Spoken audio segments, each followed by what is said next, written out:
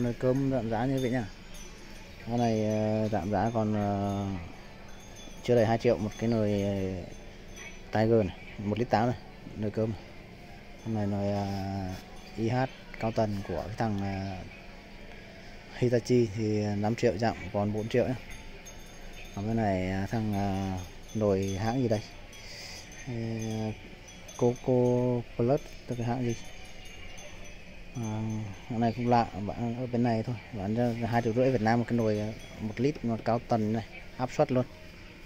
Ê. à, nồi LG này thì ờ, giảm giá còn 3 triệu bên này được một lít.